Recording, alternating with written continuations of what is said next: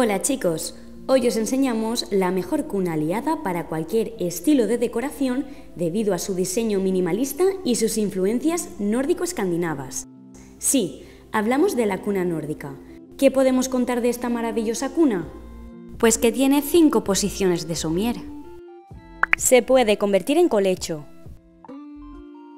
Su lateral es abatible.